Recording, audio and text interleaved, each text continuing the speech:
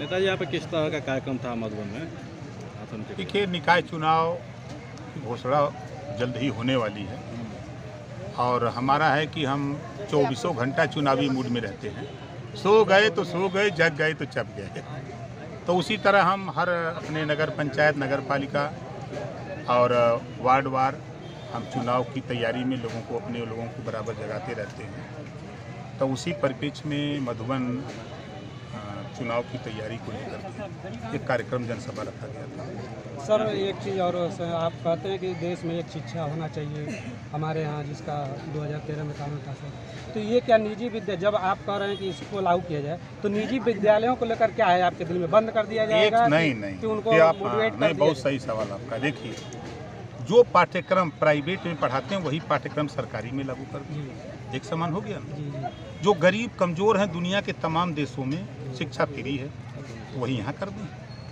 अब इसमें प्राइवेट तो बंद नहीं ना सर एक और मामला पे हाँ सवाल आपसे ये है कि जो मऊ सदर के विधायक हैं अब्बास अंसारी आप कहते हैं कि वो हमारा सिंबल है और कैंडिडेट सपा के हैं। तो आप अपना सिंबल उनसे लेना चाहेंगे कि वही रहेगा देखिए अभी तक तो जो ईडी ने कार्रवाई किया है पूरी हमको जानकारी नहीं है कि क्या क्या आरोप तय हुआ है। वो आरोप जब मिल जाएगा तब उसके बाद हम उस पर कानूनी सलाह लेकर हम कार्रवाई करेंगे।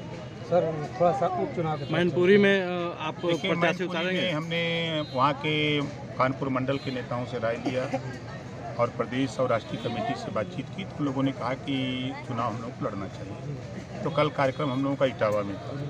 तो वही कार्यक्रम स्थल पे ही सब लोगों की राय से हमने रमाकांत कश्यप जी को मैनपुरी लोकसभा से प्रत्याशी घोषित कर दिया और खतौली विधानसभा जो मुजफ्फरनगर की सीट है वहाँ रमेश प्रजापति को प्रत्याशी घोषित मधुबन नगर पंचायत में दो प्रत्याशियों के बीच पेच फंसी भागीदारी हुई पार्टी से गठबंधन है कि सीधा आपका सीधा एक हाँ, राज रमेश प्रजापति जी भागीदारी पार्टी से प्रत्याशी हैं। रमेश प्रजापति जी भागीदारी पार्टी से प्रत्याशी हैं और मैनपुरी में सुहेल देव भारतीय समाज पार्टी से रमाकांत कश्यप प्रत्याशी हैं।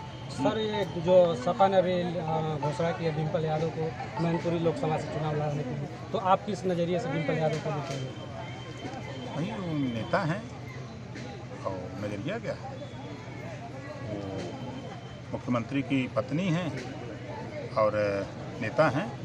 सबका हक है। जब 50 परसेंट आबादी है तो हम तो लड़ाई जैसे महिला सम्मेलन सम्मेलन आपके ज़िले में शुरू करने जा रहे हैं फिर से। हमारी कोशिश है कि 50 परसेंट सीट आरक्षित कर दिया जाए। लोकसभा विधानसभा में जैसे निकाय चुनाव और पंचायत चुनाव में है उसे आरक्षित कर दिया जाए। सीट कंफर्म हो जाएगा नहीं यहाँ महिला के लड़े के है पुरुष लोग एकदम हट जाए अपन है। मधुबन नगर पंचायत में दो प्रत्याशियों के बीच पेच फंसी हुई है। एक राजभर कोई का बेटा और एक मल का कोई पेज नहीं अच्छा ही बताइए कि सूचना जारी हो गई आरक्षण आ गया। जारी नहीं हुआ। है फिर कैसे आप टिकट में आप किसको अपना मान रहे हैं? हैं? दोनों अपने हैं। ठीक।